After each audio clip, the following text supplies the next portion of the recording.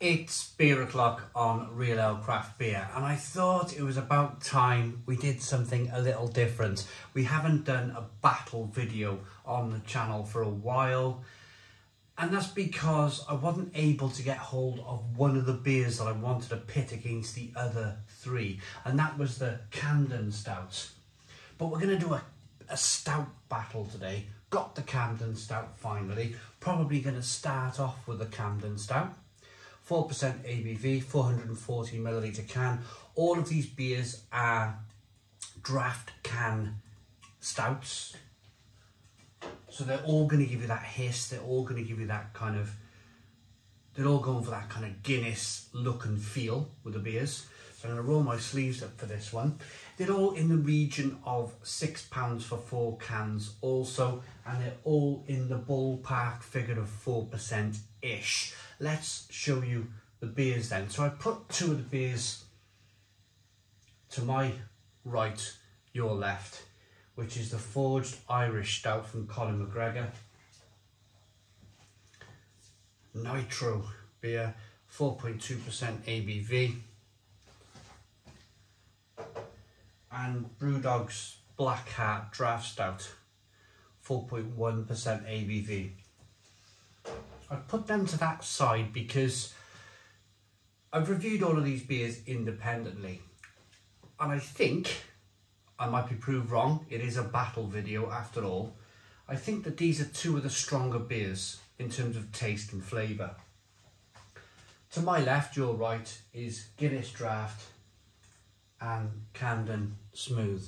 So without further ado, uh, the Camden's 4%, the Guinness is 4.1%. So interesting how each company have decided to go with slightly different ABVs. Colin McGregor being the slightly strongest beer there at 4.2% ABV. This Camden Stout is AB InBev. The Guinness is Diageo. Brewdog is of course Brewdog and Colin McGregor. Now I think that's an independent company. So let's start off then, let's get these beers out. So there's the Surge.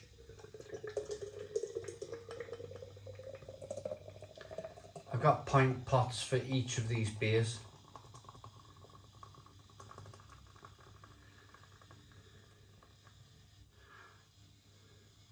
I don't think as long as I have a hole in my backside that I'll be comfortable tipping a beer out like that, wondering if it's going to pour everywhere.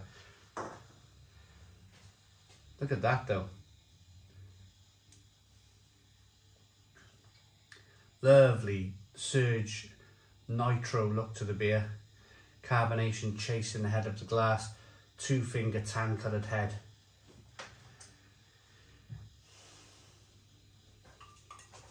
another pint pot. Let's go with the Guinness draft. Did you hear that?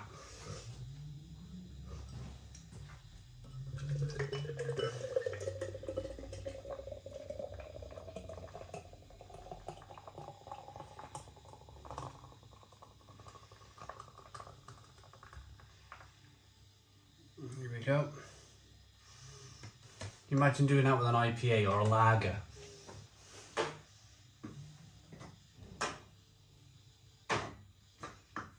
Imagine pouring a lager like that. Blood my neck would be everywhere, wouldn't it? There's the Guinness. Very, very similar, similar look. But Guinness being the original, they, I, it was either Beamish or the other Irish one, or Guinness that invented this kind of style of surge style of draft stout. They've made it synonymous with it, haven't they, with draft stouts. So immediately, what I've noticed is the Camden has a slightly darker head.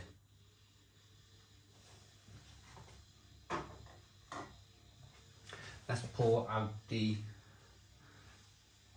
Brewdog Black Heart 4.1.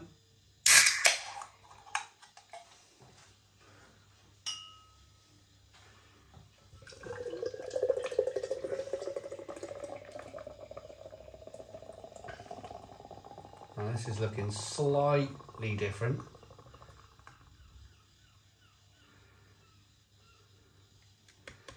It's developing, it is developing a nice head. It is developing a nice head, but this one looks, this one looks like it's kind of, that carbonation is really rising up the glass really quickly. But more of a tan coloured head than the Guinness. Look at that. Guinness has a white head.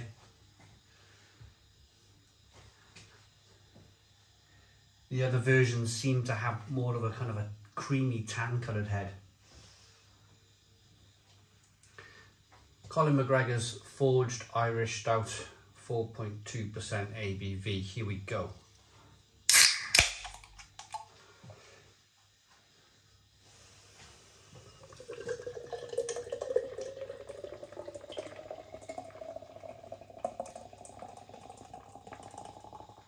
At this.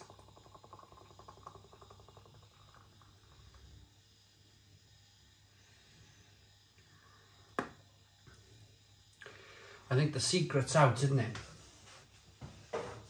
The secret, Guinness's secret on how to make this style of beer is definitely out. They're all able to do it. They're all able to, you can chuck the cans in and it'll produce a lovely, lovely look to the beer. So, slightly, it's more of a lighter, I think the Brewdog's the darkest of the heads, I think, on the beers. Although, yes, no, it is. The Brewdog's got the darkest head.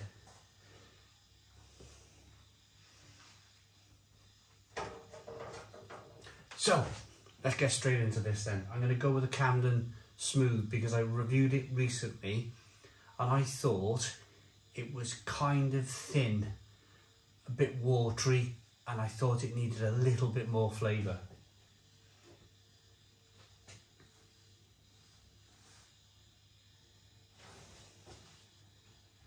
Guinness. Very similar. Very, very similar. A little bit chocolatey, a little bit roasty, a little bit syrupy. Let's get into the Camden Stout then.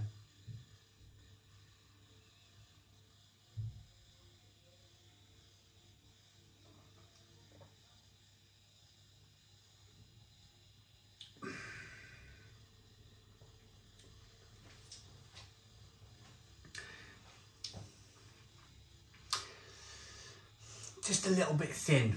It's okay. It's a little bit roasty, a little bit toasty.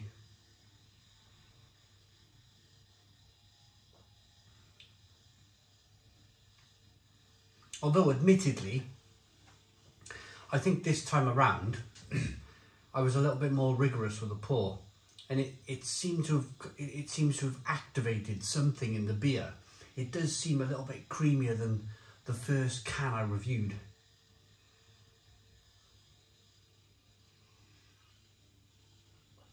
bitter, roasted, little bit thin, little bit watery. Not bad, it's okay.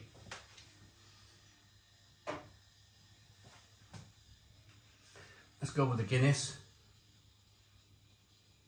A little bit sweet on the aroma, a little bit syrupy. Let's get in.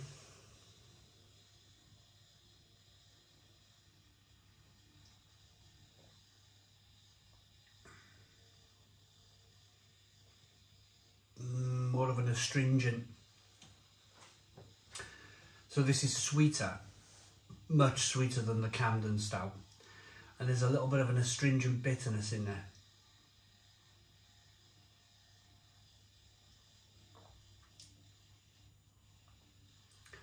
Yeah, I, surprisingly, now I've, I've told you I went for the Camden Stout first because because I thought that was going to be the weaker of all four beers. But surprisingly, that it's actually a better beer. Putting the two, this is the first time I've put Guinness Draft next to Camden Stout together.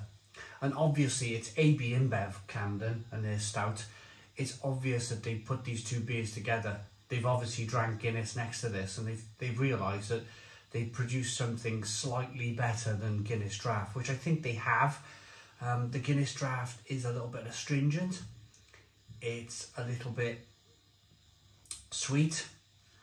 The Camden is a little bit more representative of, a, of a, what you would call a proper stout, a little bit more roasty. Now, let's get over to what we would call more of the craft side of, of, of if you want to call Brewdog craft anymore. Let's try the Black Heart from Brewdog. 4.1% ABV.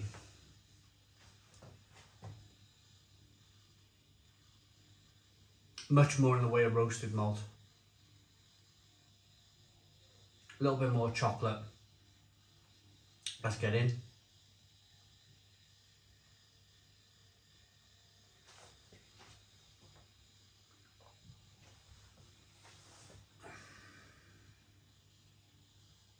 Oh. Bitterness is off the scale compared to the first two beers. Much more of a rounded bitterness, much more roasted malt flavour coming through. Nice, bit more creamier kind of mouthfeel. I quite, admittedly, admittedly, I quite like Black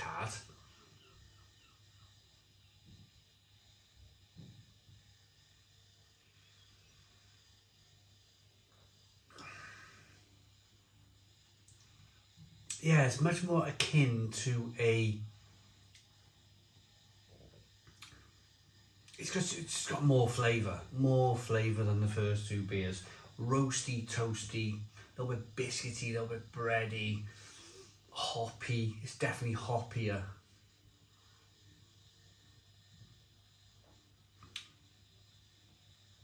And that hoppiness kind of offers flavour and a lovely bitterness on the back end really nice. So let's try Conor McGregor's Forged Irish Stout then.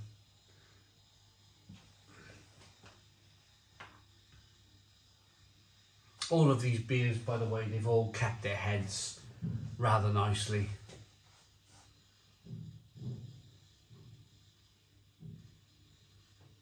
A little bit fruity. a little bit roasted, a little bit of chocolate, a little bit of coffee. Let's dive in. Cheers, everybody.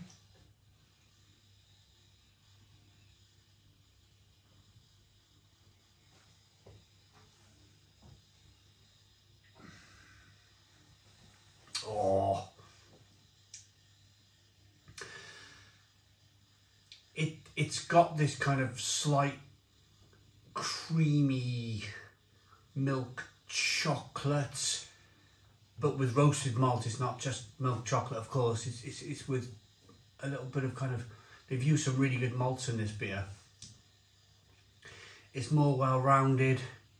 It's a little bit less bitter. You can, I know it's only 0.1 of a percent ABV, but you can you can almost tell this they they just used a little bit more quality malt, I, I feel, in the forged Irish stout. Um, it's it's it's beautiful. This is beautiful, beautiful liquid.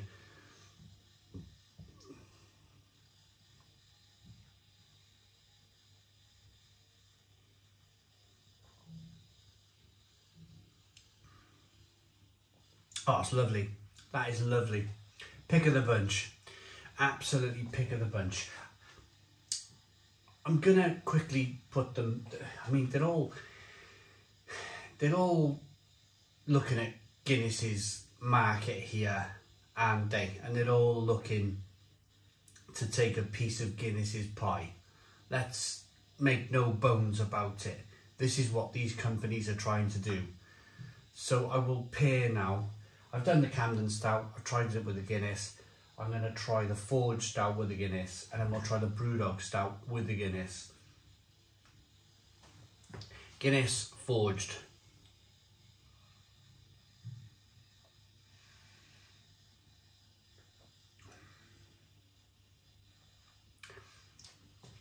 it's crazy how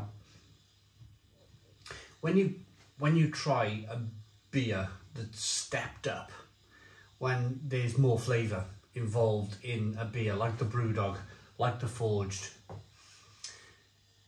you go back to having a sip of Guinness, and it it, it just has the feeling of nothing. It there's, a little bit of a, a, a sweetness. There's there's a little tiny bit of bitterness, a tiny bit of roasted malt, but but nothing to kind of write home about. So a mouthful of Guinness.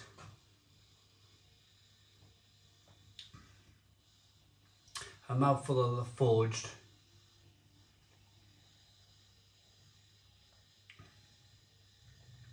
The forged is on another level. It's on another level much better, much more flavour, much more akin to a stout. Let's try the Black Heart versus the Guinness. Black Heart.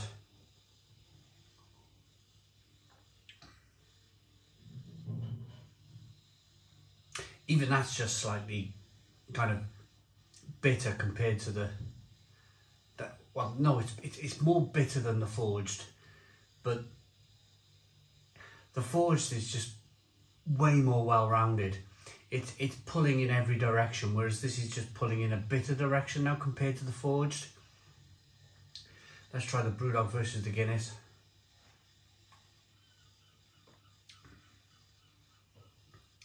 Bitter bitter from Brewdog. Drinking the Guinness it might as well be a glass of milk. That's the only way I can describe the Guinness. After, after trying the Forged and the Brewdog and comparing them to Guinness, the, the best way I can describe the Guinness is that it just tastes like a glass of cold milk.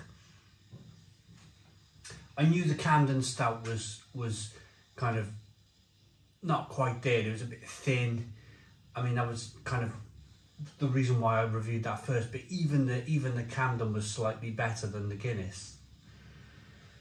Um, before I rate the four beers, before I give my ratings on, on, on these beers, I just want to say that the reason why I've been at breweries, I've been to a regional brewery near me in Cardiff and I spoke to the head brewer at the launch of their stout and we're going back 2011 we're going back 13 years. And I remember him saying to me then at the launch of Black that the the reason why we, we brought this beer out is we believe that Guinness is not the beer that it once was and we believe that we can challenge Guinness. Obviously that failed. That didn't work. They gave it a great push mind and it was a better beer than Guinness. It was just who can really compete with Guinness's marketing. That's the point. Guinness and the Guinness drinker has a certain mindset and that mindset is of if you think of a black beer you think of Guinness. And and they've kind of like they, they've almost kind of like strangled the the stout market into into their own really into their own like like I just said if people think of dark beer they think of Guinness. But now we have some real real challenges on the scene AB InBev the makers of Budweiser and Carling They've just thrown their hat in the ring with a Camden Stout, and it's slightly better. Brewdog, they're no mugs. Brewdog are no mugs. They made a slightly better beer than Guinness. Forged, Irish Stout. I don't really know too much about it, I'll be perfectly honest with you. I know Conor McGregor is a, is a, is a very, very famous man, and, and, and he has produced the best beer here. He's like thrown his hat in the ring. He's challenged Guinness here. All of these companies can see that Guinness has a weak, pardon me, has a weakness. Guinness's weakness is the fact that they've made it so quite poor now. It's a poor, poor imitation of a stout that the bigger companies around them are going, we're going to take a slice of your pie. We're going to make a slightly better beer and we're going to try and push you and push you off your kind of pedestal. So my message to Diageo, my message to Guinness is this. You need to reverse back a few recipes, go through the history books of Guinness, go through maybe the first draft Guinness and maybe go back to that recipe. And my message is clear. Otherwise, if you don't do that, these boys are ready to take a slice of your cake. And I think they could do it. There's been small regionals who have who have thought that they could do it, but they, they, they couldn't compete with the marketing, they couldn't compete with the advertising spend of Guinness. But if anyone can, Camden, Brewdog, Colin McGregor, we're living in a, we're living in a different world these days. Social media with Colin Colin McGregor, he could push that stout out to many many people. So I'm not going to gas on anymore. I'm going to rate these beers. I'm going to start with a Guinness. Guinness for me, after trying the four beers, is a very poor beer compared to the other four. It's very very poor. It's a five out of ten. The Camden Stout it's slightly better. Someone's banging a drum in the lane. Um, it's slightly better. It's a 6 out of 10. The Brewdog Black Heart is a 7 out of 10. The winner, the absolute winner, is Colin McGregor's Forge Stout. It's a beautiful beer.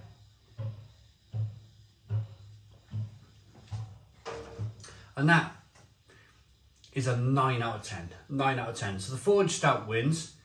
Um, check it out if you can. It was available in Asda. Um, see if it still is available in Asda for you uh, if you're in the UK.